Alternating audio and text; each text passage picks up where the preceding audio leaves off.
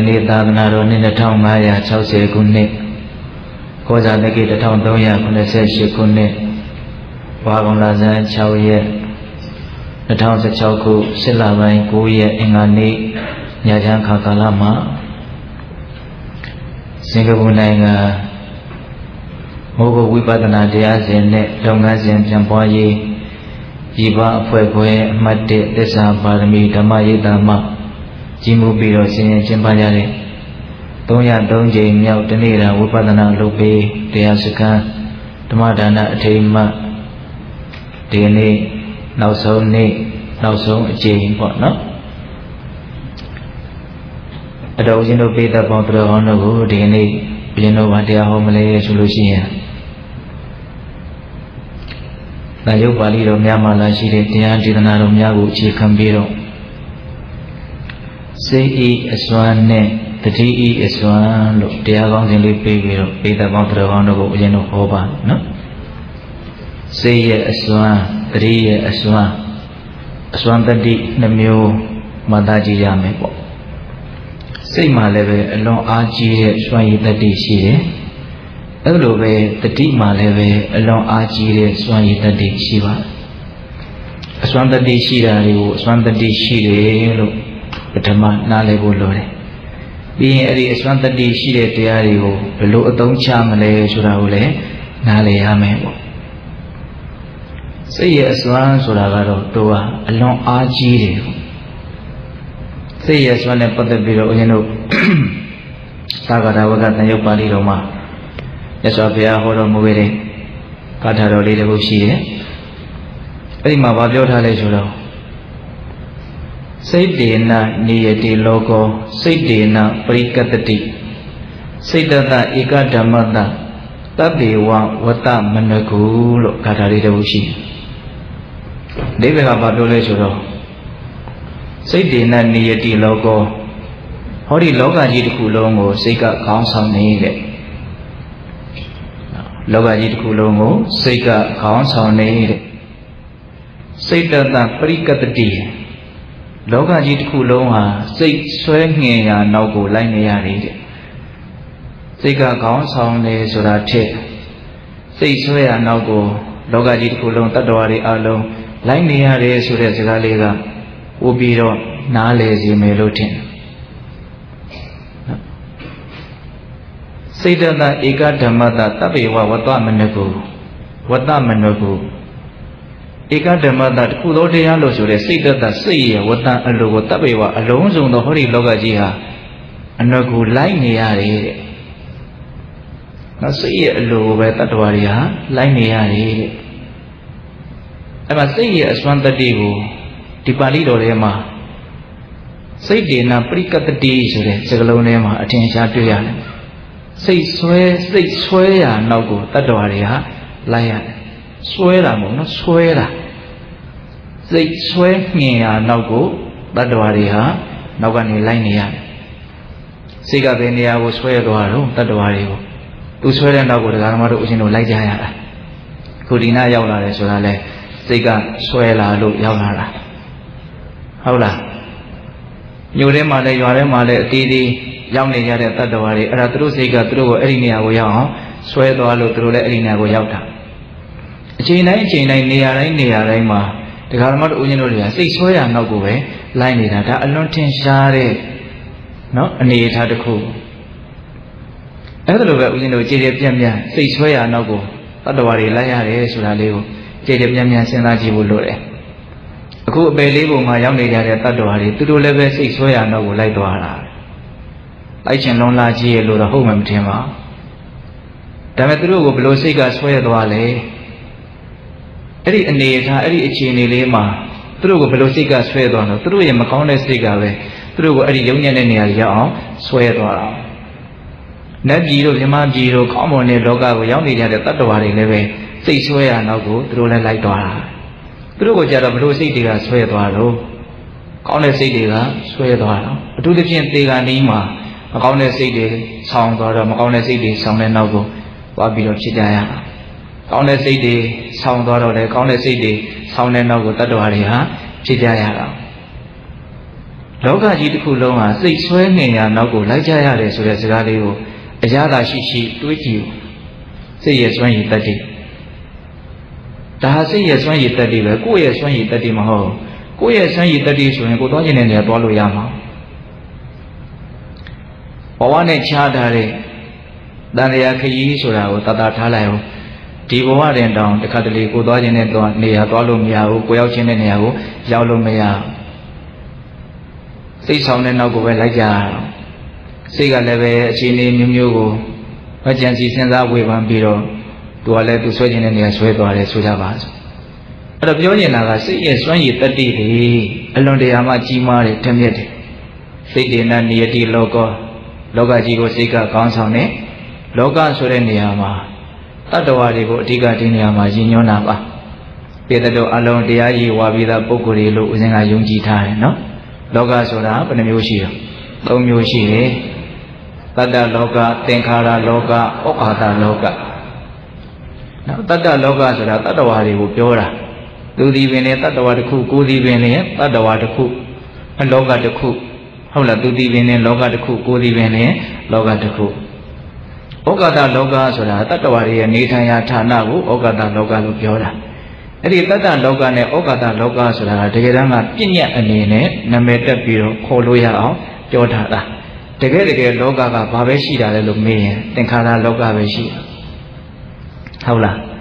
ယုံနာအရှုဝေကိုတတ္တလောကလို့ပြောလိုက်တယ်နော်ယုံနာအရှုဝေတို့ရဲ့တရားယုတ်တဘာဝတရားတွေကိုတော့ဩဃာတလောကလို့ပြောလိုက်တာ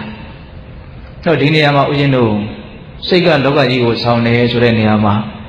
လောကသုံးပါးလုံးအကျုံးဝင်မယ်လို့ဦးဇင်းကတော့တွေးမိတယ်ပေါ့နော်စိတ်ရဲ့စွမ်းရည်တတိစိတ်ရဲ့အနေအထားပေါ်မှာမူတည်ပြီးတော့တတ္တဝါတွေကလည်းဖြစ်နေရတာနော်လောကကြီးကလည်းဖြစ်နေတာစိတ်ရဲ့စွမ်းရည်တတိအဲ့ဒီနေရာမှာစိတ်ရဲ့စွမ်းရည်တတိကိုအကျဉ်းများဖြင့်ပိဋကပေါင်းတော်တို့နှစ်မျိုးလောက်ခွဲခြားပြီးတော့နားလည်ထားတဲ့နေပေါ့ တတ္တဝါတွေကိုဆင်းရဲဖို့အစင်မပြေဖြစ်ဖို့နော်ထက်မြက်တဲ့စွမ်းရည်တတိနဲ့ဖန်တီးနေတဲ့မကောင်းတဲ့စိတ်မကောင်းတဲ့စိတ်ဓာတ်တဘာဝယုံညံ့တဲ့စိတ်ဒီအုပ်စုကြီးတစ်ခုရှိတယ်။ပါပအုပ်စုညင်နွမ်းတဲ့နော်ယုံညံ့တဲ့မကောင်းတဲ့ဓာတ်ပေါ့။ဘာဓာတ်လဲလို့မေးရင်စိတ်ဓာတ်မကောင်းတဲ့စိတ်ဓာတ်တတ္တဝါတွေအလုံးကိုအရှင်ပြေအောင်ချမ်းသာအောင်ကောင်းမွန်အောင် နောက်ကောင်းတဲ့ဘက်မှာစွန့်ရည်တတိထက်မြက်စွာဖြင့်ဖန်တီးနေတဲ့ကလျာဏတ္တကလျာဏအုပ်စုကောင်းတဲ့စိတ်မမြင့်မြတ်တဲ့စိတ်ဓာတ်သူတို့ကလည်းတအုပ်စုရှိနေတာနှစ်မျိုးလောက်တော့ပြီးတဲ့လို့ခွဲခြားရမယ်ပေါ့ဟုတ်လားဘဝမှာအသေးစိတ်ကလေးတွေတွေးကြည့်မကောင်းတဲ့စိတ်တွေကတတ္တဝါတွေကိုဆင်းရဲအောင်အဆင်မပြေအောင်ဖန်တီးတယ်ကောင်းတဲ့စိတ်တွေကတတ္တဝါတွေကိုချမ်းသာအောင်ဆင်ပြေအောင်ဖန်တီးတယ်အဲ့ဒါနဲ့ပတ်သက်ပြီးတော့ဦးဇင်းတို့ မြတ်စွာဘုရားကဓမ္မပဒပါဠိတော်မှာမှတ်တမ်းတင်ထားတဲ့ဂါထာလေးနှစ်ပုဒ်ကိုဦးဇင်းကပြောခြင်းတာအလွန်မှစိတ်နဲ့ပတ်သက်ပြီးတော့စဉ်းစားရကောင်းတဲ့ဒေသနာလေးနှစ်ခုပေါ့နော်မကောင်းတဲ့နေရာမှာစွန့်ရည်တတိထက်မြက်ပုံနဲ့ပတ်သက်ပြီးတော့မြတ်စွာဘုရားဘယ်လိုဟောထားလဲဆိုတော့ဒီသောတိတံယန္တံကိဣရာဝေဒီဝါပါဏဝေဒီနာမိစ္ဆာပဏိဟိတံစိတ်တံပပိယောနံတတောကလေးတဲ့အ ဓိပ္ပာယ်ကဘာပြောလို့ဆိုတော့အချင်းချင်းမုန်းနေကြတဲ့ရန်သူတွေလူရိုးသခိုးတွေတယောက်ကိုတယောက်အလွန်မုန်းတီးဆက်ဆုပ်နေတဲ့ရန်သူတွေရန်သူဖြစ်ုံနဲ့မကဘူးမုန်းနေသေးတယ်တချို့ကရန်သူတာဖြစ်တာမမုန်းဘူးတချို့ကမုန်းတာမုန်းတာရန်သူမဟုတ်ဘူးအခုအာရန်သူလည်းဖြစ်တယ်မုန်းလည်းမုန်းတယ်အဲ့လိုမုန်းတီးနေတဲ့ရန်သူတွေအချင်းချင်းတွေ့ပြီဆိုရင်ဘာလို့မလို့စိတ်ရှိလက်ရှိတယောက်တယောက်ကိုဒုက္ခပေးကြမှာပေါ့ တညာတဲ့သဘောမရှိဘူးထောက်ထားတဲ့သဘောမရှိဘူးကို့မှာအစွမ်းရှိရင်ရှိသလောက်တယောက်ကိုတယောက်မလုပ်ကြမလို့ဒုက္ခပေးတာဒါကဥမာပြောတာပါမြတ်စွာဘုရားအဲ့လိုမုန်းတီးနေကြတဲ့ရန်သူတွေချင်းချင်းတယောက်ကိုတယောက်ဒုက္ခပေးတယ်လို့အဲ့ဒီမုန်းတီးနေတဲ့ရန်သူချင်းချင်းတယောက်ကိုတယောက်ဒုက္ခပေးတာထက်မိစ္ဆာပဏိဟိတံစိတ်တံပပိယောနံတတော်ကလေး ယုံညံ့တဲ့မှားယွင်းစွာစောက်တည်ထားတဲ့မကောင်းတဲ့စိတ်ဓာတ်တွေကတတ္တဝါကိုပို့ပြီးတော့ဒုက္ခပေးနိုင်တယ်တဲ့ဟိုကငယ်ငယ်လေးကစဒီကထာလေးကိုတွေ့ဘူးတယ်ပေါ့တွေးလိုက်တဲ့ကစလည်းပဲအလွန်သဘောကျတယ်ခုချိန်ထိလည်းပဲသဘောကျနေတဲ့အနေအထားကကြာမသွားဘူးတခါလေးပိုးတောင်တက်လာသေးတယ်ဟုတ်လားမုန်းနေတဲ့ရန်သူချင်းချင်းနှိမ့်ဆက်တာတဲ့ရုံညံတဲ့စိတ်ကတတ္တဝါကိုပို့ပြီးတော့နှိမ့်ဆက်နိုင်နေဆိုတာလေ တော့တရားတော်တို့ဥိနည်းရဲ့ဘဝမှာကြောက်เสียအကောင်းဆုံးရန်သူဟာဘာလဲလို့မေးရင်ကိုယ့်ရဲ့မကောင်းတဲ့စိတ်ပဲဇူကမှကိုယ့်ကိုတိတိယောက်ယောက်ကြီးနှိမ့်ဆက်နိုင်တာမဟုတ်ဘူးတကယ်တကယ်ကကိုယ့်ရဲ့မကောင်းတဲ့စိတ်ကပဲကိုယ့်ကိုဆင်းရဲစေတာပူလောင်စေတာဟောတရားဥကပြောလို့ဆင်းရဲတယ်ဆိုတဲ့နေရာမှာတောင်မှကိုယ်စိတ်ကသူပြောတဲ့ပြောခြင်းတည်းဟူသောအကြောင်းကြောင့်စိတ်ကိုညှဉ်းနှွမ်းအောင်နောက်စိတ်ကိုအစဉ်အတန်နှိမ့်မသွားအောင် တော့ထိမ့်သိမ့်နိုင်မယ်ဆိုရင်ဆင်းရဲစရာအကြောင်းမရှိဘူးစိတ်ကိုယ်သာကိုယ်ကကောင်းတဲ့အည်အသွေးကြမသွားအောင်ထိမ့်နိုင်မယ်ဆိုရင်ဆင်းရဲစရာအကြောင်းရှိဘူးနော်စဉ်းစားကြည့်စဉ်းစားကြည့်ဒါကတွေးမိတာလေးကိုပြောတာပါအဲ့တော့ကြည်ကြည်ပြန့်ပြန့်ပေါ်လေမကောင်းတဲ့စိတ်တွေဆိုတာကခုလောလောဆယ်ဖြစ်စဲမှလည်းပဲပူပူလောင်စေတယ်ပင်ပန်းစေတယ်အဲ့ဒီမကောင်းတဲ့စိတ်တွေကိုခြေခံပြီးတော့လှုပ်လေသမျှပြောလေသမျှတွေးလေသမျှဒါတွေကလည်းမကောင်းတာတွေပဲဖြစ်တဲ့အတွက်ကြောင့် ဒီဘဝမှာကိုပဲအဲ့ဒီကံတရားတွေကဆင်းရဲတဲ့မကောင်းကျိုးတွေကိုပေးတတ်တယ်ပြီးရင်လည်းပဲဘဝတန်တရားတွေရှောက်အဲ့ဒီမကောင်းတဲ့ကံမကောင်းတဲ့စိတ်တွေကိုအခြေခံပြီးတော့လှုပ်လိုက်တဲ့မကောင်းတဲ့အလုပ်တွေကဒုက္ခပေးဦးမှာပဲဘုန်းတော်အကုသိုလ်ကံပဲဖြစ်ဖြစ်ကုသိုလ်ကံပဲဖြစ်ဖြစ်မဖြစ်ပြီဆိုလို့ရှိရင်ပိဋကတို့အလုံးကြားဥပါတယ်ဇောခုနှစ်ကြိမ်စောတယ်ဆိုတာဟုတ်လားအကုသိုလ်ပဲဖြစ်ဖြစ်ကုသိုလ်ပဲဖြစ်ဖြစ် အဲ့ဒီဇောခုနှစ်ကြိမ်မှာပထမဇောတည်ဒီဘဝမှာအကျိုးပေးမဲ့ကံနော်ဇောခုနှစ်ကြိမ်တွေကပထမဇောတည်ဒီဘဝမှာအကျိုးပေးမှာကောင်းတာပဲဖြစ်ဖြစ်ဆိုးတာပဲဖြစ်ဖြစ်နော်ယုံညံ့တဲ့စေတနာဇောကအဲ့ဒါဒီဘဝဒုက္ခရအောင်နှိမ့်ဆက်လိုက်တယ်နောက်ဆုံးတတ္တမဇောကတော့ဒုတိယဘဝမှာအကျိုးပေးနေတဲ့ဥပပစ္စဝေရဏိယကံလို့စားတော့သုံးတာပေါ့နော်ပထမဇောကိုတော့ဒိဋ္ဌဓမ္မဝေရဏိယကံ နောက်အလဲဇော၅ချက်ဆိုတာကတော့တတိယဘဝကနေနိဗ္ဗာန်မရမချင်းကျိုးပေးမယ်တဲ့ဇောခုနှစ်ကြိမ်မှာအဲ့ဒါလိုခွဲတန်းလေးချပြီးတော့မြတ်စွာဘုရားရဲ့ကြီးစုတော်ကြောင့်တရားဓမ္မတို့အရင်တို့နားလည်ခွင့်ရတော့ပထမဇောကဒီဘဝကိုကိုယ်မှစီမံလိုက်မယ်အကောင်အောင်ဆိုမျိုးမျိုးဟုတ်လားတတမဇောကဒုတိယဘဝမှာကိုယ်ကိုစီမံလိုက်မယ်နော်အလေဇော၅ချက်ကတတိယဘဝကနေနိဗ္ဗာန်မရမချင်းလိုက်ပြီးတော့စီမံပါ ကိုယ်ကိုစီမံမဲ့အရာကိုကိုကိုယ်တိုင်ပဲဖန်တီးတာဟုတ်လားဒါကြောင့်ကိုယ့်ကိုအစင်းရဲအောင်အနှိမ့်ဆက်နိုင်ဆုံးအရာဒီဘာလဲလို့မေးရင်ကိုယ့်ရဲ့မကောင်းတဲ့စိတ်စိတ်ရဲ့အစွမ်းကိုနားလည်တဲ့နေရာမှာအဲ့လိုမျိုးချဲ့ထွင်ပြီးတော့တွေးရနော်ဒါမကောင်းတဲ့ဘက်မှာစိတ်ရဲ့စွမ်းရည်တတိနောက်ကောင်းတဲ့ဘက်မှာစိတ်ရဲ့စွမ်းရည်တတိကိုကြတော့ဘလို့ပြောထားတော့အဲ့ဒီကာထာလေးနဲ့ရှေ့နောက်ဆက်ပြီးတော့မှတ်တမ်းတင်ထားဓမ္မပဒပါဠိတော်ထဲမှာ နာဓမ္မာတပိတာကိတာအင်ညဝပိစ္ဆညာတကသမ္မာပဏိဟိတံစိတ်တံတေယသောဏံတတောကရေတဲ့ဒီကဘာပြောလဲဆိုတော့ကိုယ့်ဘုံမှာအလွန်ချစ်ခင်နဲ့နှစ်သက်တဲ့မျက်နှိုးကြတဲ့အမေတွေအဖေတွေညီတွေအကိုတွေမောင်တွေနှမတွေရွှေမျိုးတွေသားချင်းတွေတခြားချစ်ကျွမ်းဝင်ရတဲ့ချစ်ရတဲ့ခင်ရတဲ့ပုံကိုယ်တွေဘဝတိုင်းဘဝတိုင်းမှာလူတိုင်းလူတိုင်းမှာကိုယ်တိုင်းတာနဲ့ကိုယ်တော့ ရှိမထားဘူးလားရှိရနော်အဲ့ဒီချစ်ခင်ရတဲ့ကိုယ့်ကိုမျက်နှိုးကြတဲ့တန်ဖိုးထားရတဲ့နော်ဆွေမျိုးသားချင်းချစ်ကြောင်းဝင်ကြတဲ့မိတ်ဆွေတွေအလုံးနောက်ဆုံးမိတွေဖတွေအမေတွေဖေတွေနော်အဲ့ဒီလိုပုံကိုယ်တွေကမပေးနိုင်တဲ့ချမ်းသာဒုက္ခမျိုးကိုကိုယ့်ရဲ့ကောင်းမြတ်တဲ့စိတ်ကလေးကပေးနိုင်တယ်တဲ့နော်ဘလောက်မြတ်စွာဘုရားဒေသနာကိုအားပါအောင်ဟောတော်မူတဲ့တည်းဆိုတာစဉ်းစားကြည့်ပါ ကောင်းတဲ့စိတ်ကတတ္တဝါကိုချမ်းသာသေးတယ်လို့ဒီလောက်လေးပြောလိုက်ရင်စိတ်ထဲမှာအများကြီးထိမှာမဟုတ်ဘူးပေါ့နော်အလွန်ချစ်တဲ့မိခင်ဖခင်တွေကတော့မပေးနိုင်တဲ့ချမ်းသာမျိုးကိုကိုယ့်ရဲ့ကောင်းတဲ့စိတ်ကလေးကပေးနိုင်တယ်သူ့ဝယ်ပုံပြီးတော့အားကိုးကြရမှာအားကိုးရရှိအောင်လည်းကောင်းတဲ့စိတ်ကလေးတွေဖြစ်အောင်မွေးကြရမှာဟုတ်တယ်မဟုတ်လားစိတ်မှာစွန့်ရည်တတိထက်တယ်ဆိုတာအဲ့ဒါကိုနားလည်ရမယ်ဆိုးတဲ့ဘက်မှာလည်းသူကအလွန်ကိုထက်မြက်တယ်ပေါ့ ကောင်းတဲ့ဘက်လှည့်ပေးနိုင်မယ်ရှင်လည်းသူကအလွန်ကိုထက်မြက်တယ်ပေါ့သူ့ကိုထိန်းနိုင်ဖို့ပဲကိုကအရေးကြီးတာနော်စိတ်ရဲ့အစွမ်းတတိရဲ့အစွမ်းတို့တရားကောင်းစဉ်တွေတတ်တာနော်ဟောစိတ်ရဲ့အစွမ်းကိုပြောနေတာဟုတ်လားမကောင်းတဲ့ဘက်မှာလည်းပဲမုန်းနေကြတဲ့ရန်သူချင်းချင်းနှိမ့်ဆက်တာတဲ့မကောင်းတဲ့စိတ်ကကိုယ်ကိုပို့ပြီးတော့နှိမ့်ဆက်နိုင်တယ်ကောင်းတဲ့ဘက်မှာလည်းပဲချစ်လာတဲ့ခင်လာတဲ့မိဘတွေကတော့မပေးနိုင်တဲ့ချမ်းသာဒုက္ခမျိုးကိုကိုယ့်ရဲ့ကောင်းတဲ့စိတ်က ပေးနိုင်တယ်လို့ဒီလိုမြတ်စွာဘုရားဟောတာဟုတ်လားအဲ့တော့ဦးဇင်းတို့ပေးတဲ့ပေါင်းတော်ကောင်းတို့ပြစ္ဆုတ်ပံတန်တရားနှစ်ဖြာသောဒုက္ခကိုဖြစ်စေတဲ့မကောင်းတဲ့စိတ်ပြစ္ဆုတ်ပံတန်တရားနှစ်ဖြာသောချမ်းသာကိုဖြစ်စေတဲ့ကောင်းမြတ်တဲ့စိတ်နော်ဒီကောင်းတဲ့စိတ်မကောင်းတဲ့စိတ်တွေကိုသူတို့ရဲ့စွန့်ရည်တတိတွေကိုနားလည်ပြီးတော့သူတို့ကိုထိန်းချုပ်နိုင်ဖို့ကြိုးစားရမယ်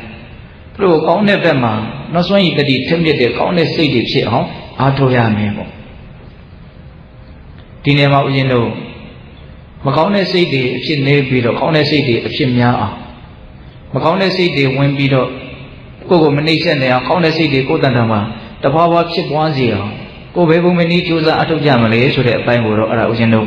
တတိရဲ့အစွမ်းဆိုတာမှဆက်ပြီးတော့ပြောပါ။ဟောစိတ်ရဲ့အစွမ်းကတော့ဒါပြောပြီးသွားပြီ။အဲ့တော့တတိရဲ့အစွမ်းကိုဆက်ပြီးတော့ပြောအောင်။တတိရဲ့အစွမ်းကနောက်အတူချုပ်ကတော့မကောင်းတဲ့စိတ်တွေကို တဖြည်းဖြည်းနေပါသွားစေပြီးတော့ကောင်းတဲ့စိတ်တွေတဖြည်းဖြည်းနဲ့ဖြစ်ပွားလာစေလိမ့်မယ်ဆိုတာကိုပြောချင်တာဒါပေမဲ့တကယ်တကယ်သတိရဲ့ဆွမ်းကအဲ့ဒါတော့မခါသတိရဲ့ဆွမ်းရင်တတိယအလွန်တရာမှကြီးလဲကြီးမားတယ်များလဲများပြားတယ်ဒါပေမဲ့အခုဒီနေရာမှာပြောချင်တာကစိတ်ရဲ့အစွမ်းနဲ့ရှင်းပြီးတော့ပြောမှဆိုတော့စွမ်းလာပါတယ်ဆိုတဲ့ထိုစိတ်ကိုပဲထိန်းနိုင်အောင်သိမ်းနိုင်အောင်နော်သူကပဲမလုပ်သွားမှာတော့ချုပ်ကင်သွားလိမ့်မယ် နောက်တတိကိုပဲစိတ်ကိုထိမ့်သိမ့်ဖို့သူ့ကိုအကြရမှာဟောနော်ဒကာမတို့အရှင်တို့တွေကအစွမ်းထက်တဲ့စိတ်ကလေးကိုအောင်းအောင်လုပ်ပေးပါလို့သူ့ကိုအမှာတတိကိုအာမှာတတိကိုအာမှာတတိကလုပ်ပေးမှာဟုတ်လားအခုတရားအထုတ်တယ်ဆိုတာအဲ့ဒါစိတ်ကလေးကိုတတိတစ်ချက်ကိုအပ်လိုက်ရတဲ့သဘောပဲဒီနေရာချင်းလည်းပဲတတိကိုမဖြစ်ဖြစ်အောင်လုပ်ပြီးတော့ကျုပ်စိတ်ကိုခမများထိမ့်ပေးပါအောင်ဆိုတဲ့သဘောမျိုးပေါ့ဒါကပုံပေါ်အောင်ပြောတာနော်ဟုတ်လား ဟီးအဲ့တော့ဦးဇင်းတို့ပိဋကပေါင်းတော်တို့ဒီနေရာမှာဦးဇင်းတို့ကနော်ဒေသနာလေးတွေနဲ့ညှိပြီးတော့ပြောကျင်တာဘာဖြစ်လို့ဒေသနာလေးတွေပါဠိလေးတွေထည့်ရတော့ဆိုတော့ဩဘုန်းကြီးကသူထင်ရမြင်ရတွေရှောက်ပြီးတော့ပြောနေတာမဟုတ်ဘူးဟဲ့မြတ်စွာဘုရားဟောပြတာကိုတရှင်ပြောပြနေတာဟဲ့ဆိုတဲ့ယုံကြည်မှုထက်သန်အောင်လို့တကယ်လည်းဟုတ်တယ်လေဒါဘုဘုတို့ညံစွန်းနဲ့ပြောတာတော့တလုံးမှမပါဘူးခါလေးဦးဇင်းအောင်မိတယ်နော်ဟိုတော့ကဥပမာပါ ကက်ဆက်ကြီးတစ်လုံးဆိုရင်ထဲတဲ့ကွေထွက်လာထဲတဲ့ကွေကွေထဲထားတဲ့အတိုင်းကွေလေးရှိတဲ့အတန်ထွက်လာတာပဲလေဟုတ်တယ်မဟုတ်လားကက်ဆက်ကြီးကဘလို့ထွက်မယ်ညာလို့ထွက်မယ်လို့သူကဝေဘာနာပိုင်းခြားတာသူ့ရဲ့စွမ်းတကယ်တော့သူကတော့အတန်ထွက်အောင်လုပ်လိုက်တာ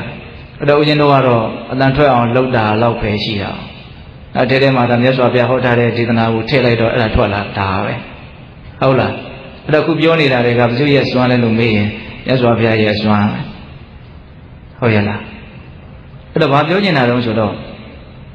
တတိတိမကောင်းတဲ့စိတ်တွေကိုတားမြစ်နိုင်တယ်အကုသိုလ်စိတ်တွေကိုတားမြစ်နိုင်တယ်ဒါလေးကိုပြောချင်တာနောက်မကောင်းတဲ့စိတ်ကိုထိမ့်ချုပ်ပြီးတော့ကောင်းတဲ့စိတ်တွေကိုဖွင့်ဖြိုးစေမယ်များပြားစေမယ်တိုးတက်စေမယ်အဲ့ဒီအချိန်မှာမကောင်းတဲ့စိတ်ကိုဘလို့ထိမ့်ချုပ်တယ်လဲဆိုတာလေးကိုမြတ်စွာဘုရားဥမာပေးတာမိမိခန္ဓာမှာထင်ရှားဖြစ်ပေါ်နေတဲ့ယုံနာတဘာဝတရားတွေရဲ့ပုံမှာ ဖြစ်တိုင်းဖြစ်တိုင်းမှန်မှန်ကန်ကန်အောက်မိတ်အမှတ်ရနေတဲ့တတိကလေးတစ်ချက်ထားလိုက်တိုင်းထားလိုက်တိုင်းအဲ့ဒီတတိကမကောင်းတဲ့စိတ်ကို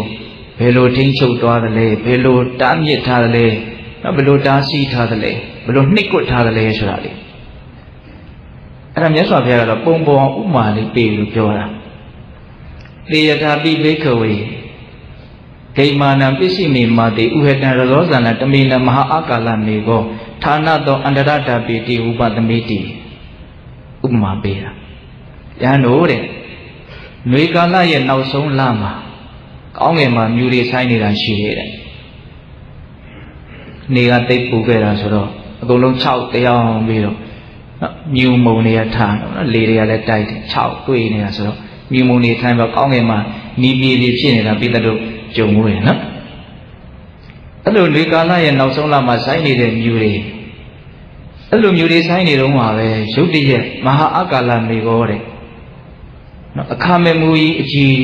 အုံတိုင်းတိုင်းနဲ့ရွာချလိုက်တယ်အဲ့လိုရွာလိုက်တာနဲ့ဒီတိုင်းနဲ့ချက်ပါဖြစ်သွားတော့ဌာနသောအန္တရဓာပိတိဥပသမိတိတဲ့စောစောကဆိုင်နေတဲ့မြူတွေဖုံးတွေအကုန်လုံးဟာတခဏချင်းပဲကြောက်သွားတယ်အခါမမူကြီးကမလုပ်ပြတာဖယ်ရှားပလိုက်တာအောင်ကောင်းမဲ့တစ်ခုလုံး မိုးကြီးလဲရွာပြီးပြီလဲဆိုတော့ကြည်လင်တန့်ရှင်းပြီးတော့သောတော်ကတစ်ပင်တွေပေါ်မှာအင်ခေါမိုးတွေပေါ်မှာတင်းနေတဲ့မြူတွေအမြင့်ကြီးတွေလည်းအကုန်လုံးပြောင်းရှင်းပြီးတော့လောကကြီးတန့်ရှင်းကြည်လင်သွားဘယ်သူရဲ့အစွမ်းလုံးဆိုတော့အခါမဲ့မိုးကြီးရဲ့အစွမ်းအောင်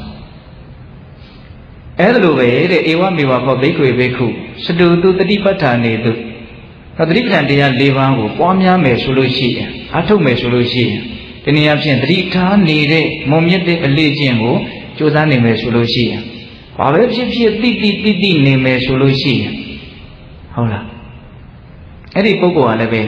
သူ့ရဲ့အစ္ဆဒအတွင်းတန်တမှာဆိုင်းနေတဲ့မြူတွေလို့ဆိုတဲ့မကောင်းတဲ့ကိလေသာစိတ်တွေအကုသိုလ်စိတ်တွေယုံညံ့တဲ့စိတ်တွေဒါတွေကိုဌာနသောအနရတပိတိဥပသမိတိတခဏချင်းပဲသူကလည်းပဲဖေရှားပြလိုက်မယ်တဲ့။ဘယ်သူကဖယ်မှာတော့ဆိုတော့တတိယပဲဖယ်လိုက်ပါ။တတိထားလိုက်တာနဲ့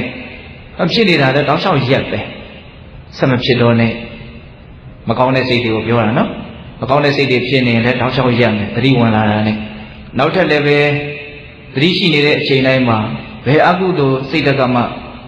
ဒီလိုဝင်ပြီးတော့နှိမ့်ဆက်ဖို့အခွင့်အရေးမရှိဘူးဖြစ်ပြီးသားကိုလည်းဖယ်ရှားနိုင်တယ်မဖြစ်သေးတာကိုလည်းတားဆီးနိုင်တယ်ဖြစ်နေတာကိုလည်းရပ်တန့်စေနိုင်တယ်လူရဲ့စွမ်းတော့တတိရဲ့စွမ်း နော်အဲ့တော့ဦးဇင်းတို့ဒီနေရာမှာတတိကကာကွယ်ရေးတောင်းကိုအပြည့်အဝယူနိုင်တယ်ဆိုတာလေးကိုလည်းသဘောပေါက်စေချင်တာ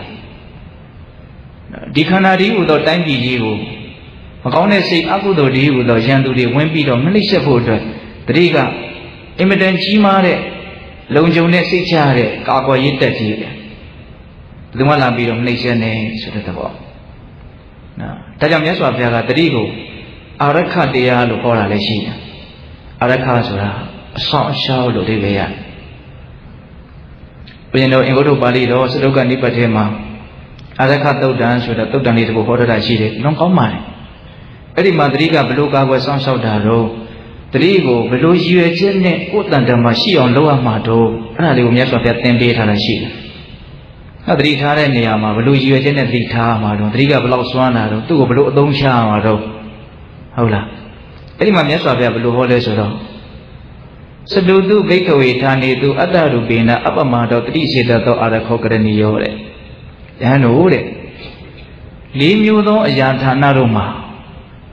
မိမိရဲ့အကျိုးရှိပွားကိုတကယ်အလိုရှိတယ်ဆိုတဲ့ပုံကောဟာတတိဆိုတဲ့အပမာဒတရားနဲ့ကိုယ်စိတ်ကလေးကိုကာကွယ်စောင့်ရှောက်ပေးရမယ်တဲ့ရိုးရိုးလေးပဲမြတ်စွာဘုရားဟောတာနော်လေးမျိုးသောအရာဌာနတို့မှာ တတိဆိုတဲ့အပမာဒတရားနဲ့ဒီစိတ်ကိုကာကွယ်စောင့်ရှောက်ပေးရမယ်အဲ့ဒီမှာစိတ်ဝင်စားစရာကောင်းတဲ့စကားလုံးတစ်လုံးအဲ့ဒါဘာလဲဆိုတော့အတ္တရူပေနဆိုတဲ့စကားလုံးလေးပဲအတ္တရူပေနဆိုတာကိုယ့်ရဲ့အကျိုးရှိပွားကိုတကယ်အလိုရှိတဲ့ပုဂ္ဂိုလ်လို့အဓိပ္ပာယ်ရတယ်။မြတ်စွာဘုရားတရားဟောတာတစ်ခါလေခြိပြီးလုပ်ပြီးဟောတာပဲ။နော်ကိုယ့်ရဲ့အကျိုးရှိပွားကိုတကယ်အလိုရှိတယ်ဆိုရင်အဲ့ဒီပုဂ္ဂိုလ်ဟာ လေးမျိုးသောအရာဌာနတို့မှာဒီစိတ်ကိုသတိနဲ့ကာကွယ်ဆောင်ရှောက်တော့တတိနဲ့ဒီစိတ်ကိုကာကွယ်ဆောင်ရှောက်မှုမပြုဘူးဆိုရင်ဒီပုဂ္ဂိုလ်ဟာကိုယ့်ရဲ့အကျိုးရှိပွားကိုအလိုမရှိရာရောက်သွားပြီ။ဟုတ်တယ်မဟုတ်လား။ဟောဘာလို့ပြောအောင်ရှင်းမှပြောတာရှိတယ်လေ။ကိုကျိုးစည်းပွားကိုအလိုရှိတယ်ဆိုရင်တော့စိတ်ကိုတတိနဲ့အရာဌာနလေးမျိုးမှာကာဝယ်ဆောင်ရှောက်လိုက်ပါလို့ပြောတယ်။ဒါမဆောင်ရှောက်ဘူးဆိုရင်အတိတ်ကဘယ်လိုတက်ရောက်သွားလဲ။ကိုကျိုးစည်းပွားကိုကိုဟာအလိုမရှိတဲ့လူအဖြစ်ကိုရောက်သွားတယ်။ တကယ်လည်းဟုတ်တယ်အဲ့ဒါ။ဟုတ်လား။ပူပြီးတော့တဲ့ဒေသနာကိုလေးနဲ့သွားစီတယ်လို့မဆိုနိုင်ဘူးလား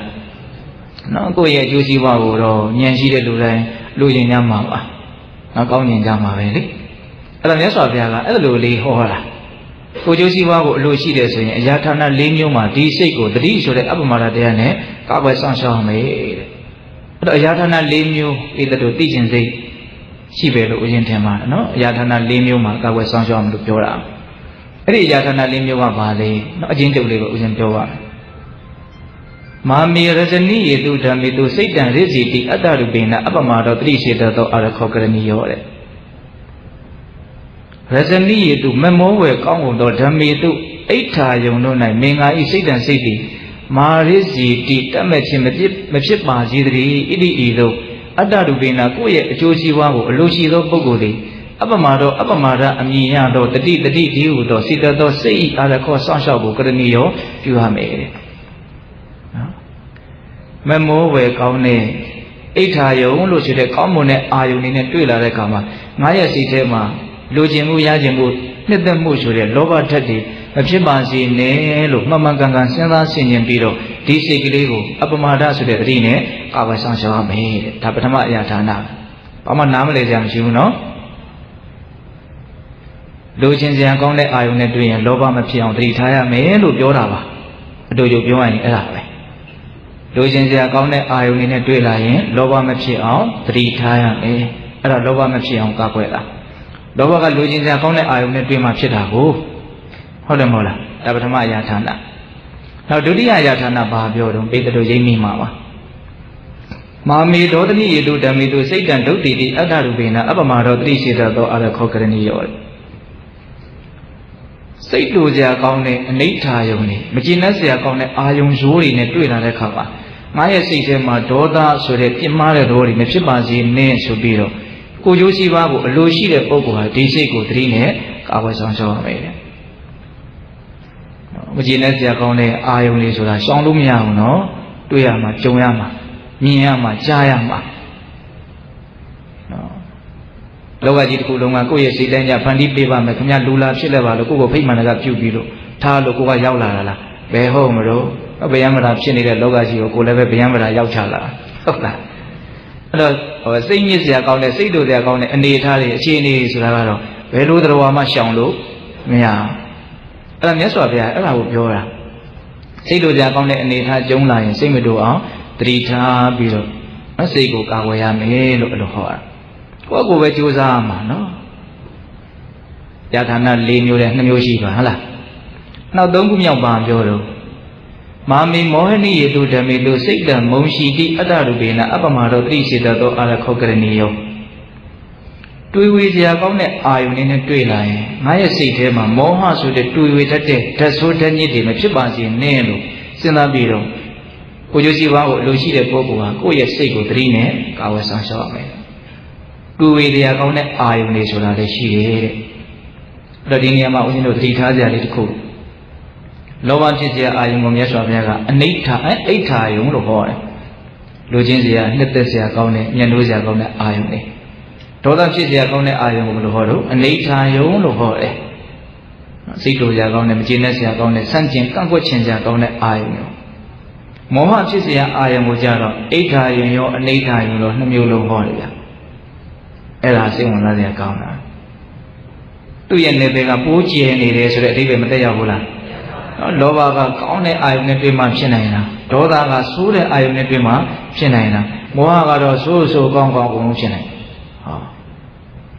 တဲ့တဲ့ပြောရင်မောဟဆိုတာကြီးဖြစ်ပြီးမှလောဘတို့ဒေါသတို့ဆိုတာကိုကဖြစ်လို့ရတာတကယ်တကယ်ကဒါပေမဲ့မောဟကတော့ဘယ်သူမှမသိပြီးတော့စကားတွေထည့်မပြောကြအောင်နော်ထည့်လောဘနဲ့ဒေါသပဲအတင်းပြောကြတာ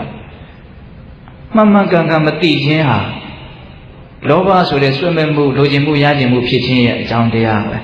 မှန်မှန်ကန်ကန်မသိခြင်းဟာမကျေနပ်မှုစိတ်တူမှုဆိုတဲ့ဒေါသဖြစ်ခြင်းရဲ့အကြောင်းတရားအလုံးအခြေခံကြတဲ့အကြောင်းအဝိဇ္ဇာဟုတ်ရဲ့လားဒါကြားတဲ့ဖြတ်ပြောတာအောင်နောက်လေးခုမြောက်ကားပဲစောင့်ရှောက်မှာကဘာလို့ဆိုတော့ဟုတ်ရသော်ဘုရားဒေသနာအလွန်ပြည့်စုံပါတယ် မာမီမတဏိယေတုဓမ္မေတုစိတ်တမစ္စီတိအတ္တရူပေနအပမတောတိစိတသောအရခောကရဏီယောตาယာရှင်မူးဝယ်ကောင်းတဲ့အာယုန်နဲ့တွေ့လာတဲ့ခါမှာမန်တက်ဝင်ကြွားဝယ်ကောင်းတဲ့အာယုန်နဲ့တွေ့လာတဲ့ခါမှာ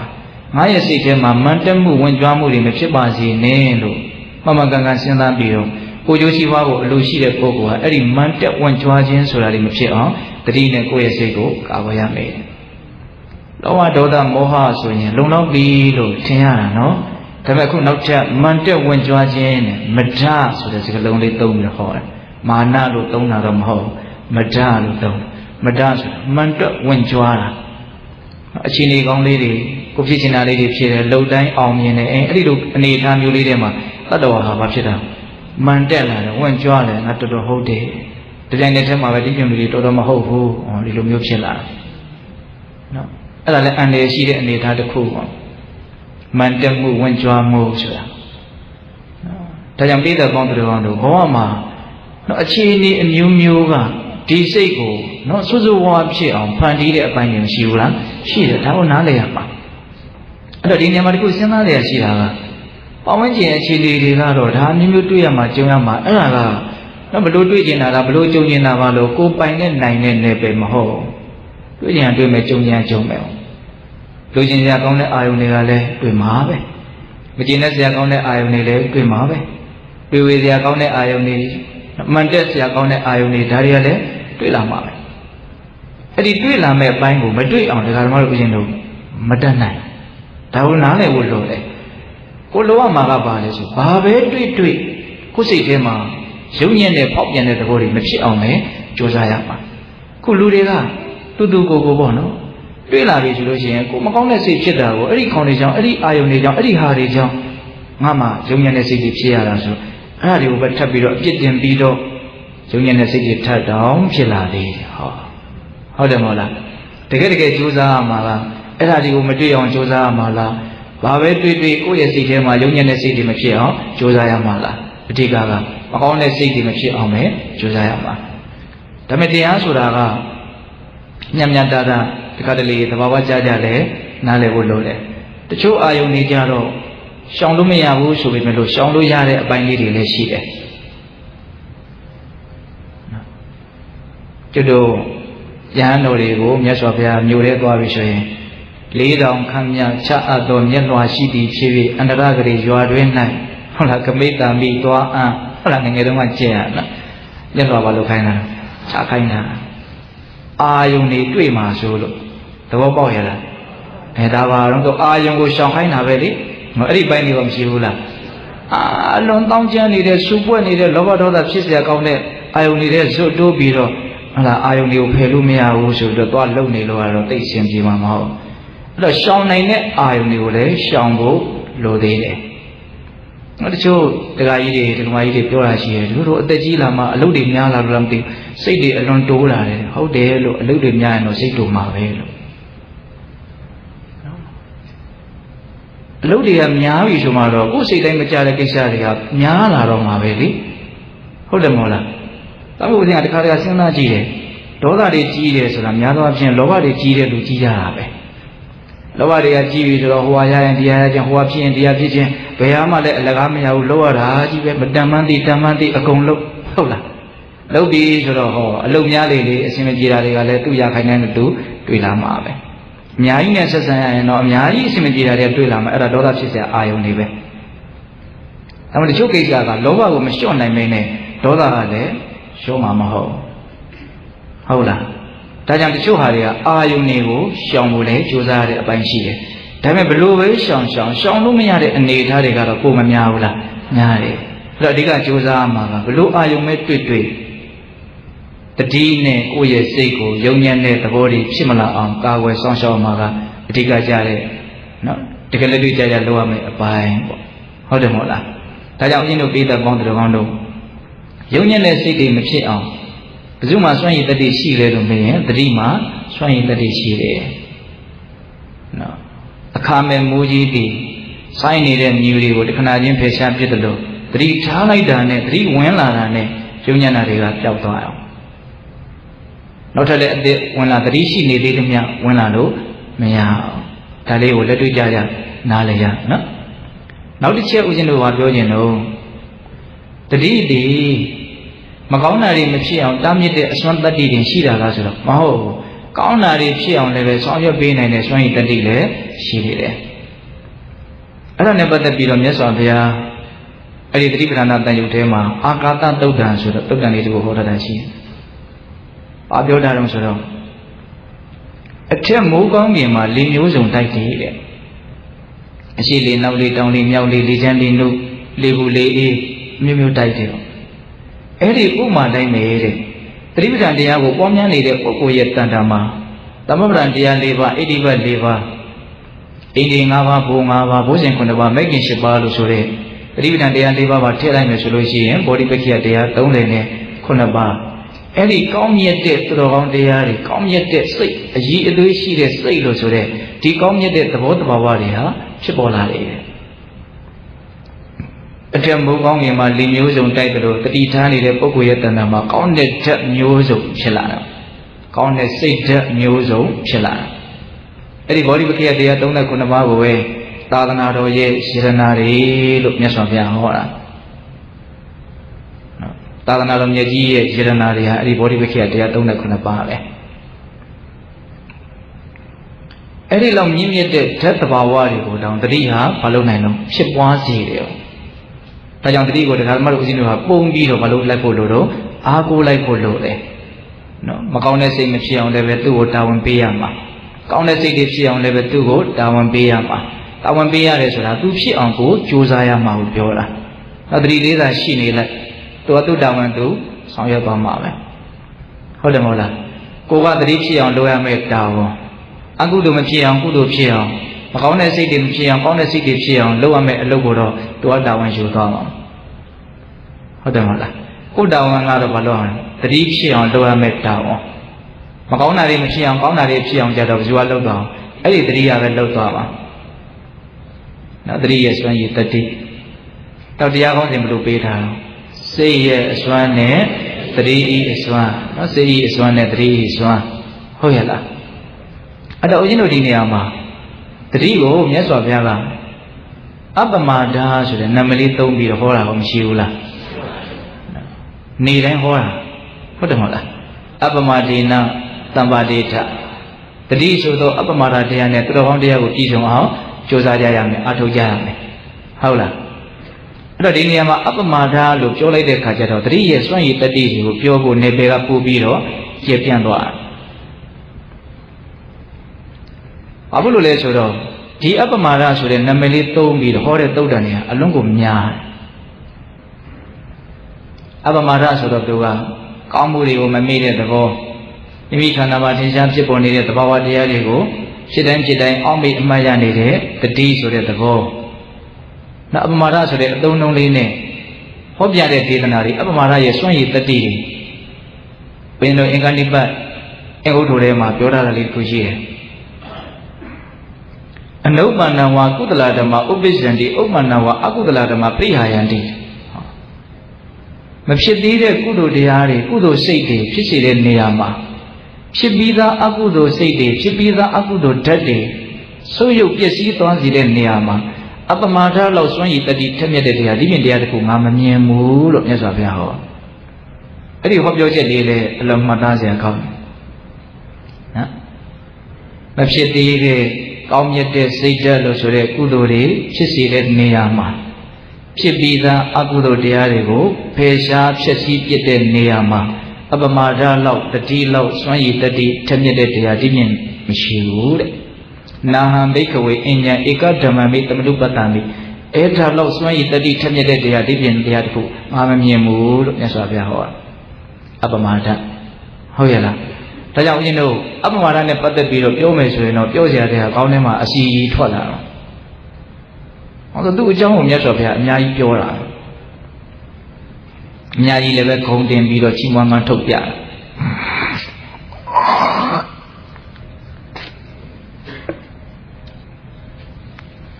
အလွန်ထင်ရှားတဲ့ဦးဇင်းတို့အပမာဒရဲ့ဂုံကြီးကိုပြထားတဲ့သုတ်တန်လေးတစ်ပုဒ်ရှိတယ်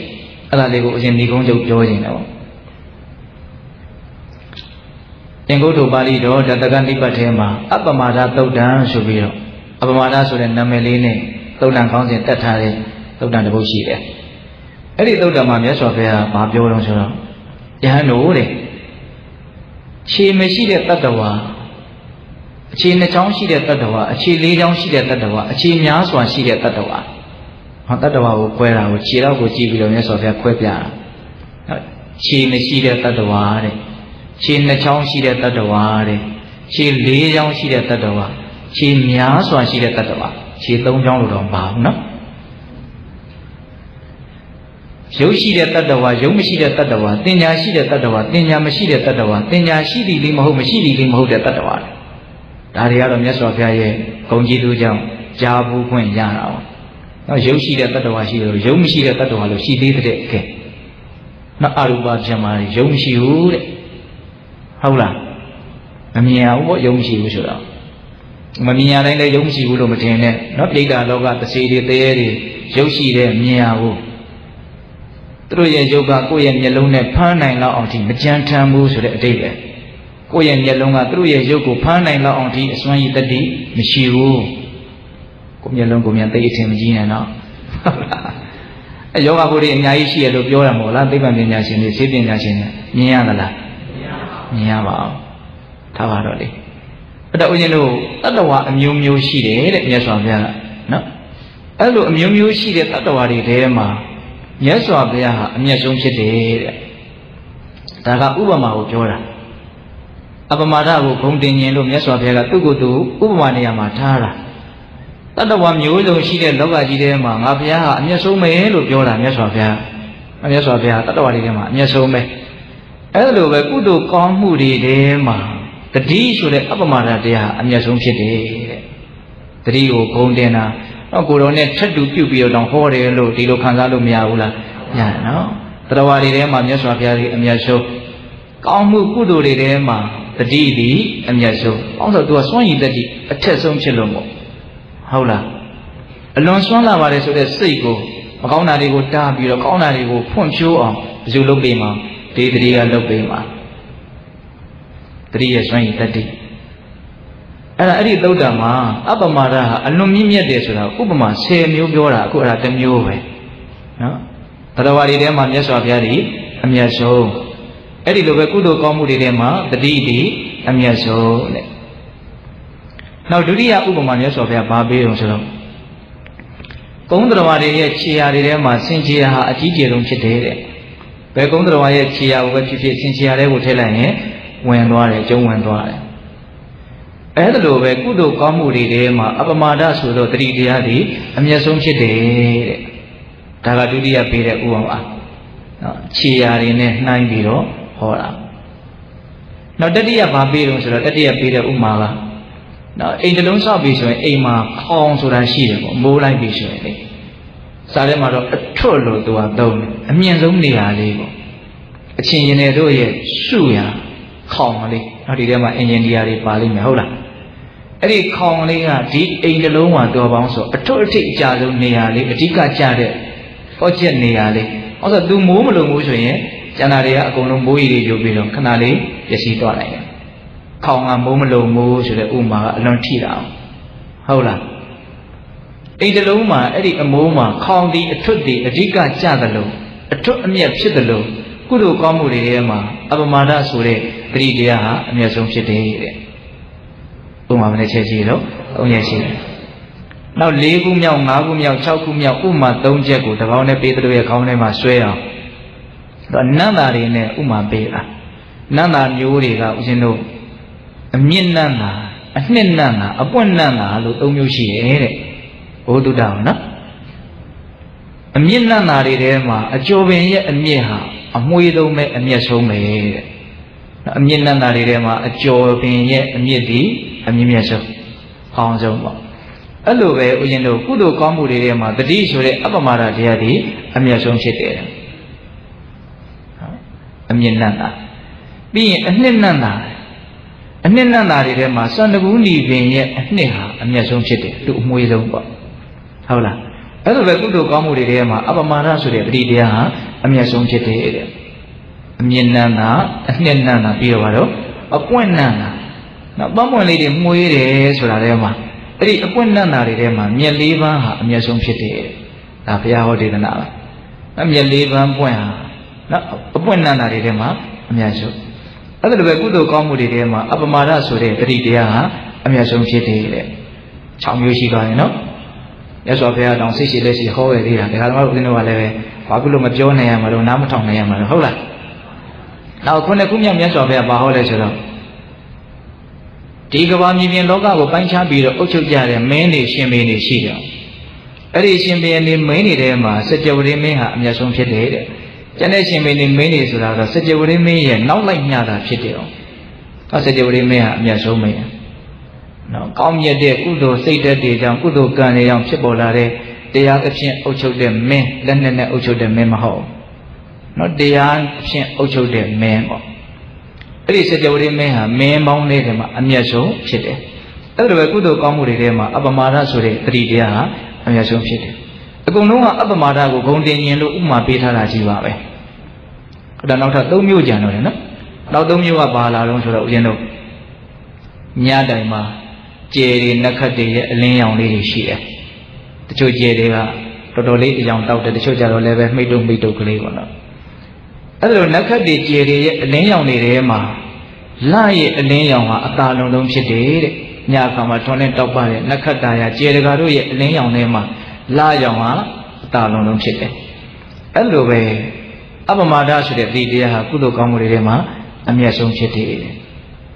လာနော်ပြီးတော့ပါလားဆိုနေတဲ့အနေအခါမှာနေရဲ့အလင်းရောင်ဒီအလုံးစုံသောအမိုက်တိုက်ကိုလွှမ်းမိုးပြီးတော့တည်တယ်တဲ့နော်ဘယ်အလင်းရောင်ကမှနေရဲ့အလင်းရောင်ကိုမမေ့ဘူးနေမင်းကြီးရဲ့အလင်းရောင်ကအတောက်ပဆုံးနေခါမှာအဲ့ဒါလိုပဲကုသိုလ်ကောင်းမှုတွေထဲမှာတတိဆိုတဲ့အပ္ပမာဒတရားတွေ အမြင့်မြတ်ဆုံးဖြစ်တယ်ဒါကုကုမြောက်ပေးတဲ့ဥမာနောက်၁၀ခုမြောက်ပါပေးတာတော့ဆိုတော့ဦးဇင်းတို့သမုဒ္ဒရာကြီးနဲ့ဥမာပေးတယ်နောက်ကဘာမြေပြင်လောကကနေပြီးတော့စီစဉ်သွားတဲ့မြစ်တွေချောင်းတွေ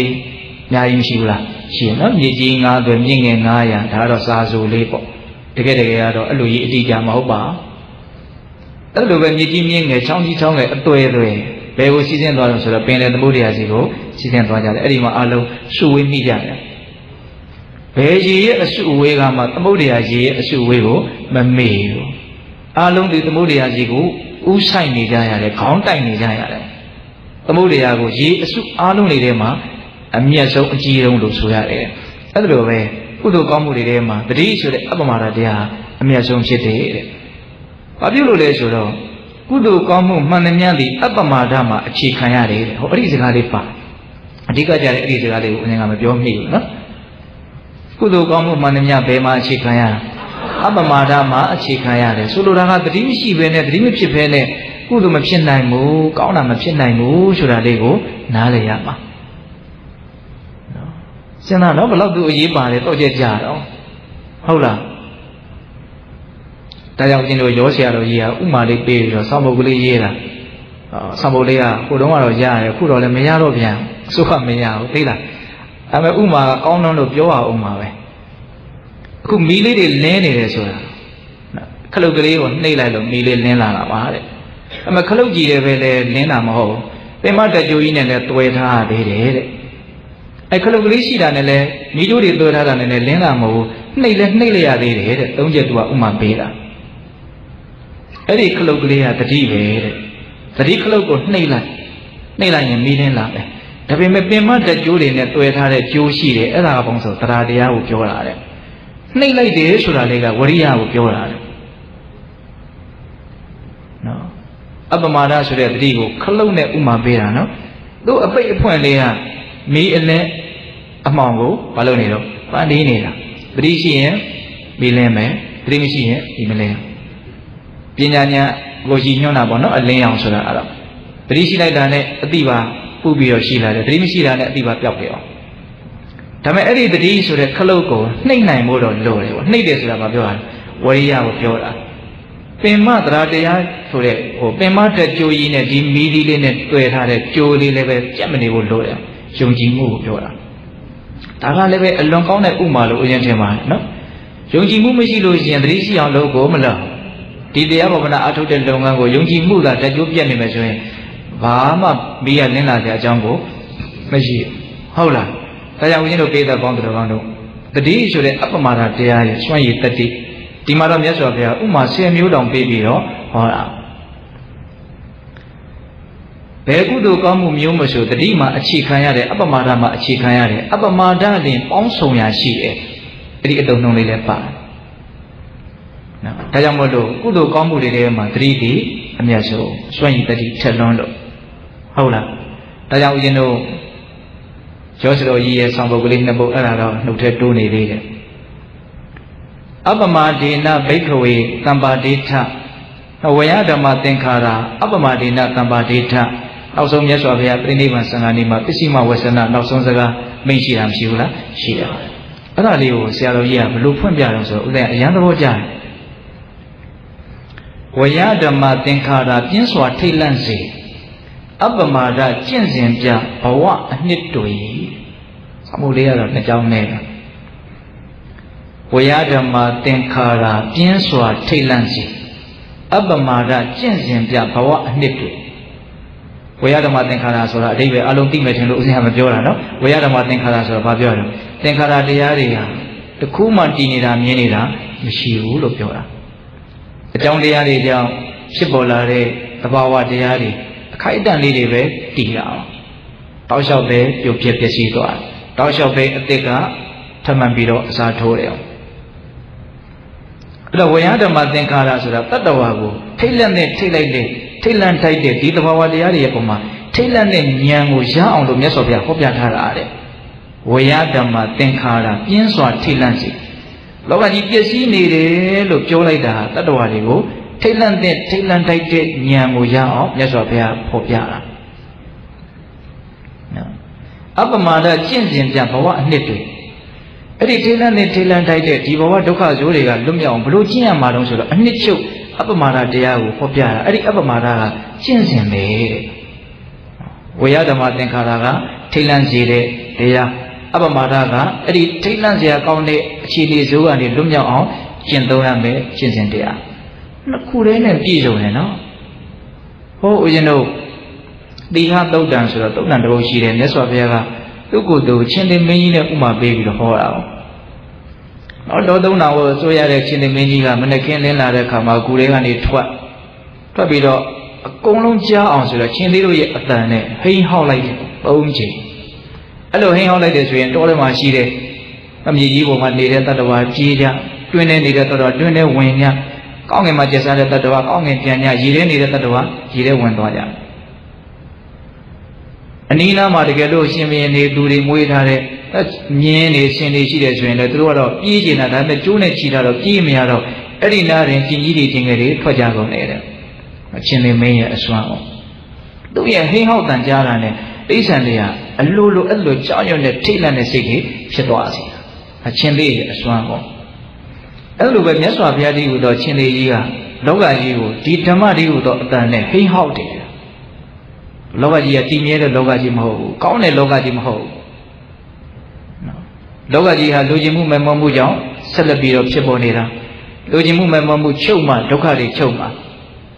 လူကျင်မှုမမောမှုချုပ်အောင်ဒုက္ခတွေချုပ်အောင်ဘဂိရှိပါအကျင့်ကိုကျင့်ရမယ်အထူးသဖြင့်သစ္စာ၄ပါးတရားသံပြီးဘုရားကြီးဟူသောရှင်သေမင်းကြီးရဲ့ဟိဟောတဲ့အတန်ပဲ အဲ့ဒီမှာအတိအလင်းဟောတာအဲ့ဒီမှာတော့ဦးဇင်းတို့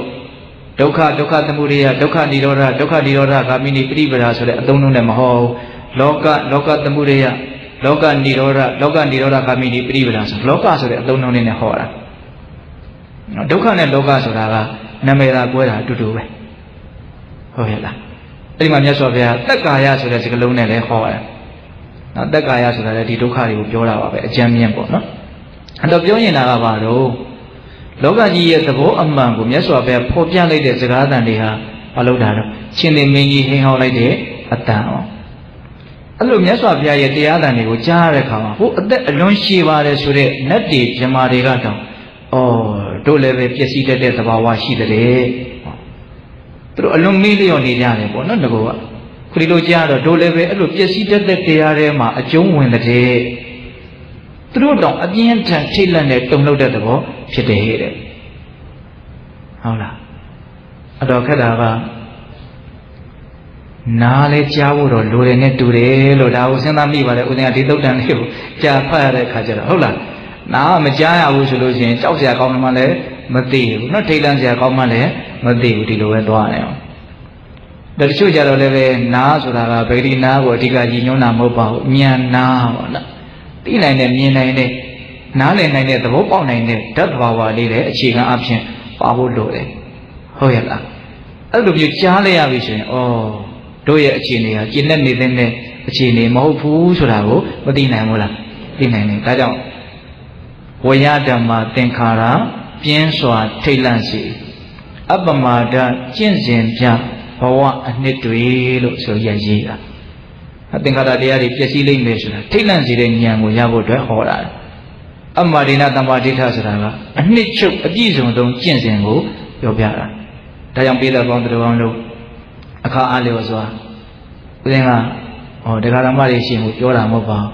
နည်းနည်းတောင်အံ့ဩတယ်ဘုနော်လူတွေဒီလောက်များပြီးတော့ဩလာကြရှာဘယ်သူမှအလုပ်အားတဲ့လူမရှိပါဘူးနော်အကုန်လုံးရုန်းကန်လှုပ်ရှားနေကြတဲ့လူတွေပါဟုတ်လားဒီကြားထဲကပဲ ဒီကိုလာပြီးတော့စုဝေးမိတယ်ဆိုတာဒီတရားဓမ္မရဲ့ပုံမှာဘယ်လောက်စိတ်ဝင်စားသလဲဆိုတာကိုပြသရမရောက်ဘူးလားရောက်တော့တနည်းအားဖြင့်ကိုဘဝရဲ့အရေးကိုကိုဘယ်လောက်အလေးထားလဲဆိုတာကိုလည်းပဲပြသရရောက်ပါတယ်နော်အလုံးလာကြတယ်ဆိုတာဟောဘုန်းကြီးတို့လည်းပဲဘုန်းကြီးအားမငယ်အောင်ဟဲ့ဆိုတော့လာကြတာလဲပါခြင်းပါမယ်ပေါ့ဟုတ်လားဒါပေမဲ့အဲ့ဒါလည်းဦးဇင်းကဝမ်းသာပါတယ်မေတ္တာသဘောပေါ့ဒါပေမဲ့ကိုကြီးကိုတွေးပြီးတော့လာတာလည်းပဲအလွန်ကောင်းပါတယ်ဟုတ်တယ်မဟုတ်လား အဲ့တော့ဦးဇင်းတို့ပြေးတဲ့ပေါင်းတော့အချိန်လဲစေပါပြီနော်အဲ့တော့ဒီနေ့ဒါနှုတ်ဆက်တရားပေါ့ဟုတ်လားနော်ပါတတိရဲ့တတိဤအစွမ်းနဲ့ဟောစိတ်ဤအစွမ်းနဲ့တတိဤအစွမ်းနော်အလွန်အရေးပါတဲ့တွေးစရာလေးတွေလို့ဦးဇင်းကတော့ထင်ပါတယ်ဟုတ်လားအဲ့တော့ပြောရတာလေးတွေပြန်ပြီးတော့အနှစ်ချုပ်ကြည့်မယ်နော်စိတ်ဤအစွမ်းနဲ့နောက်လောကကြီးကိုစိတ်ကခေါင်းဆောင်တယ်တတ္တဝါတွေဒီဟူသောလောကကြီးသည်စိတ်ဆွဲငင်ရာနောက်ကို လိုက်နေရတယ်စိတ်ဒီဟူသောတခုသောတရားရဲ့အလိုကိုအလုံးစုံသောတတ္တဝါတွေဟာအလိုလိုက်နေရတယ်ဒါကြောင့်စိတ်ကဆရာကြီးပဲဒါစိတ်ရဲ့စွန့်ရည်တတိတွေကိုဦးဇင်းတို့နားလည်ဖို့ကြိုးစားတဲ့နေရာမှာအချင်းချင်းဘယ်နှမျိုးနားလဲနှစ်မျိုးလောက်တော့နားလည်ရမယ်မကောင်းတဲ့စိတ်ကောင်းတဲ့စိတ်စာလို့ပြောရရင်တော့မိစ္ဆာပဏိဟိတစိတ်တမ္မာပဏိဟိတစိတ်မကောင်းတဲ့စိတ်က အချင်းချင်းမုံဒီဆက်ဆုပ်နေကြတဲ့ရန်သူတွေတယောက်ကိုတယောက်ဒုက္ခပေးတာတဲ့မကောင်းတဲ့စိတ်ကတတ္တဝါတွေကိုပို့ပြီးတော့ဒုက္ခပေးနိုင်တယ်အလွန်မေတ္တာကြီးမားလာတဲ့မိခင်ဖခင်တွေကမပေးနိုင်တဲ့ချမ်းသာဒုက္ခမျိုးကိုကောင်းတဲ့စိတ်ကပေးနိုင်တယ်ဒါလေးတွေမမေ့နဲ့နော်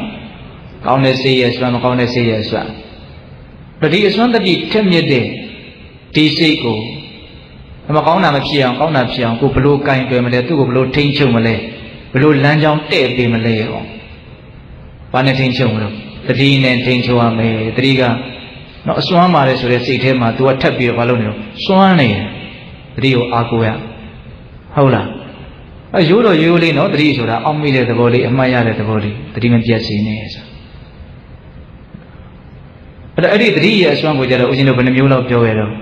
နော်အာကုသို့မဖြစ်အောင်တားမြစ်နိုင်တယ်ကုသို့ဖြစ်အောင်ဆောင်ရွက်နိုင်တယ်အကြံမြစ်နှမျိုးပေါ့ ဟုတ်လားအခါမဲမှာအခါမဲရွာလိုက်တဲ့မိုးကြီးကကောင်းငယ်မှာဆိုင်းနေတဲ့မြူတွေကိုဖေရှားပြလိုက်တဲ့လိုမျိုးတတိထားလိုက်တာနဲ့ကိုယ်စိတ်ထဲမှာဖြစ်နေတဲ့မကောင်းတဲ့ဓာတ်သဘာဝတွေဟာတခါတည်းကြောက်ပြေသွားတယ်အထက်မိုးကောင်းငယ်မှာလေမျိုးစုံတိုက်တယ်လို့တတိသာထားမယ်ဆိုလို့ရှိရင်ကောင်းမြတ်တဲ့ဓာတ်သဘာဝတွေအလို့လျောက်ဖြစ်ပေါ်လာလိမ့်မယ်ဒီအဓိကကြတဲ့တော့ကြကြတဲ့စကားလေးတွေကိုမှတ်မိရအောင်ဟုတ်လားဒါကြောင့်အဲ့ဒီတတိကိုပဲမြတ်စွာဘုရားအပ္ပမာဒဆိုတဲ့အသုံးလုံးလေးနဲ့ မဖြစ်သေးတဲ့ကုသိုလ်တွေကိုဖြစ်ပေါ်စေတဲ့နေရာမှာဖြစ်ပြီးသားအကုသိုလ်တွေကိုဖြစ်စည်းပြစ်နိုင်တဲ့နေရာမှာတတိလောက်အပ္ပမာဒလောက်စွန့်ရင်တတိထက်မြက်တာငါမမြင်ဘူးလို့ဒီလိုလဲဟောတာရှိအောင်နောက်ဆုံးဦးဇင်းပါပြောသွားတော့အပ္ပမာဒသုတ်တံတဲ့တတိရဲ့ခုံကြီးကိုဥပမာ10မျိုးပေးပြီးတော့မြတ်စွာဘုရားချီးမွမ်းမှန်းထုတ်တာနော်တရဝါတွေထဲမှာမြတ်စွာဘုရားဒီအမျက်ဆုံးဘုံတရဝါတွေရဲ့ခြေရာတွေထဲမှာဆင်ခြေရာဒီအကြီးဆုံးအိမ်တအိမ်မှာအထွတ်ဆိုတဲ့ခေါင်ဒီအမျက်ဆုံး ဟုတ်လားသုံးမျိုးရှိနော်ပြီးတော့ပါတော့အနှစ်နန်းတာထဲမှာအကျော်ပင်ရဲ့အနှစ်ဒီအမျက်ဆုံးဟောအမြင့်နန်းတာတွေထဲမှာအကျော်ပင်ရဲ့အမြင့်ဒီအမျက်ဆုံးအနှစ်နန်းတာတွေထဲမှာစန္ဒကူနီရဲ့အမြင့်ဒီအနှစ်ဒီအမျက်ဆုံးအပွင့်နန်းတာတွေထဲမှာမြက်လေးပန်းရဲ့အရာလားအနတ်ဒီအမျက်ဆုံးနောက်ပြီးတော့ခုနှစ်ခုမြောက်ကစကြဝဠာမင်းဒီမင်းဒီထဲမှာအမျက်ဆုံးနော်လာဒီခြေတကာတွေရဲ့အကြောင်းတွေထဲမှာအသာလွန်ဆုံးလာရ နော်နေမင်းရဲ့အလင်းရောင်ကနေမှာတွန်းလဲတောက်ပံမှုအမိုက်တိုက်ကိုဖေးဖြောက်ပြီးတော့တီးတဲ့နေရာမှာသူဒီအလွန်ခဲဆုံးနောက်ဆုံးကသမုဒ္ဒရာဆိုတာရေအစုအဝေးတွေထဲမှာမြစ်တွေချောင်းတွေထဲမှာသူဒီအကြီးကျယ်ဆုံးအဲ့လိုပဲကုသိုလ်ကောင်းမှုတွေထဲမှာအပမာဒတိအမျက်ဆုံးဘယ်ကုသိုလ်ကောင်းမှုပဲဖြစ်ဖြစ်အပမာဒမှာအကျုံးဝင်ရတယ်အပမာဒကိုအခြေခံရတယ်ဒါကြောင့်အမာဒတိအမျက်ဆုံးနောက်ဆုံးဏိကုံးချုပ်ပါလေပြောသွားတော့ ဝေယဓမ္မသင်္ခါရပြင်းစွာထိတ်လန့်စီဘုရားတည်းဟူသောရှင်သေမင်းကြီးကလောကကြီးရဲ့မတည်မြဲတဲ့သဘာဝကိုမှန်မှန်ကန်ကန်သိတာထင်ရှားအောင်ဟောပြတော်မူခဲ့ဟုတ်လားဒါထိတ်လန့်တဲ့ထိတ်လန့်တဲ့သဘာဝတရားတွေပုံမှာထိတ်လန့်မှုစစ်မှန်တဲ့ဉာဏ်ကိုရဖို့အတွက်မြတ်စွာဘုရားဆောင်ရွက်ချက်ပေါ့ဟုတ်လားဝေယဓမ္မသင်္ခါရပြင်းစွာထိတ်လန့်စီအပမာဒကျင့်စဉ်ပြဘဝအနှစ်တွေအဲ့ဒီထိလန့်စရာကောင်းတဲ့ နော်ဆိုသွားတဲ့ဒီအနေအထားမျိုးကနေဒကာဓမ္မတို့ဦးဇင်းတို့လွတ်မြောက်ခြင်းတယ်ဆိုလို့ရှိရင်အပမဒဆိုတဲ့ဒီတရားဒီအနှစ်ချုပ်အပြည့်စုံဆုံးပြောထားတဲ့ကျင့်စဉ်ပဲ။နောက်တတိထားတဲ့ကျင့်စဉ်ကိုကျင့်သုံးရင်ဒီဒုက္ခတွေကလွတ်မြောက်မယ်အောင်။အကြောင်းအမျိုးမျိုးကြောင့်ဒကာဓမ္မတို့ဦးဇင်းတို့တွေကဒါတွေကိုလွတ်လွတ်ကူကူသိခွင့်ရနေအောင်။ဒါကိုပဲကံကောင်းထောက်မှစွာဒီလိုပြောမှာဟုတ်လား။ရရှိထားတဲ့အခွင့်အရေးလေးကို နော်အဆုံးရှုံးမခံဖို့လက်လွတ်မခံဖို့ကြိုးစားကြဖို့မလိုဘူးလားလိုပါတယ်ဒါကြောင့်ပိဿဘောင်တော်ကောင်းတို့ဒီတတိဆိုတဲ့အပမဒတရားလက်ခံထားပြီးတော့ကိုယ်ခန္ဓာမှာဖြစ်တိုင်းဖြစ်တိုင်းသောသဘာဝတရားတွေရဲ့ပုံမှာတတ်နိုင်နေမြမှန်မှန်ကန်ကန်အောက်မေ့အမှတ်ရနေတဲ့ဒီအလေးကျင့်ကောင်းလေးကိုပြုစုပြောထောင်ပြီးတော့အဘောဒုက္ခတွေကလွတ်မြောက်အောင်ကြိုးစားနိုင်ကြတဲ့ပုဂ္ဂိုလ်တွေဖြစ်ကြပါစေလို့ဦးဇင်းတို့ဆန္ဒပြုပြီးတော့ဒီကနေ့ပြုလို့အထောက်အသောဒါနာသီလသမာဓိပညာကုသိုလ်ကောင်းမှုအစုစုတို့ကြောင့် ဘုရားတပည့်တော်တို့သည်မဉ္ဇဉ်ပုညမျက်နှိဗ္ဗာန်ကိုလင်းမြန်ထုတ်ချောက်မျက်မှောက်ပြုပြစေကုန်သောဟုပတ္တနာအောင်စုပြုကြကုန်ရာတည်း